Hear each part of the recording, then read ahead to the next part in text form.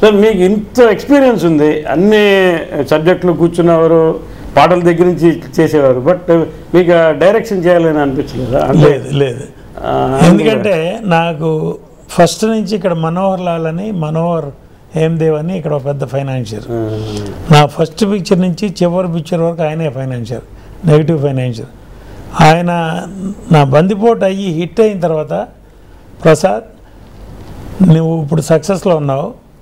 నీకు జనాలు నీ చుట్టూ చేరతారు నువ్వే డైరెక్టర్ చేయంటారు. నువ్వే చేయంటారు ఏ ప్రొడ్యూసరు డైరెక్టర్ అయ్యి బాగుపడలా? ఏ డైరెక్టర్ ప్రొడ్యూసర్ అయ్యి బాగుపడలా?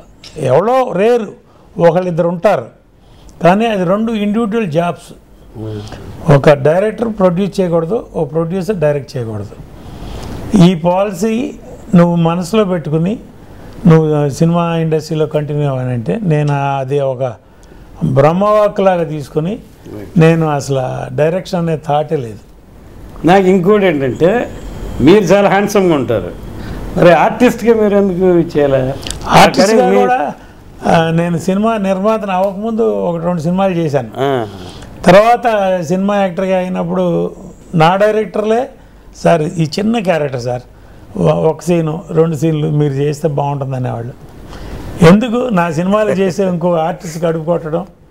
నేను ప్రొడ్యూసర్ని అక్కర్లే వద్దు. ఆ క్యారెక్టర్కి ఎవరు సూట్ అయితే వాళ్ళు అయ్యండి వాళ్ళ డబ్బులు వాళ్ళకే ఉన్నాయి. అది యాక్చువల్గా ఆ రేంజ్లో ఉంటే హీరోగా కూడా చేసేస్తారు కొంత. ఇప్పుడు రామనాయుడు గారు చేస్తున్నారు కదా. ఒక షాటో రెండు షాట్లో ఒక సీను ఒక క్యారెక్టర్ ఏదో ఒకటి రామనాయుడు గారు చేస్తున్నారు కదా.